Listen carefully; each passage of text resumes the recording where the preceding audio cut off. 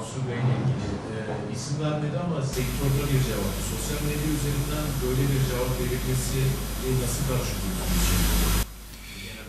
Şimdi eh, değerli arkadaşlar baştan itibaren bir şeyi burada söylemeye çalışıyorum. Bir müzakere sürecini yürütüyoruz. Ve açık söyleyeyim. Meseleyi koltuklarının bekası meselesi olarak görenlerin karşısında bu ülkenin birlik beraberliğinin ve demokrasinin bekası için mücadele ediyoruz. O nedenle de ben bu müzakereler sürerken tarafların sosyal medya üzerinden birbirlerine mesaj göndermelerini çok doğru bulmuyorum.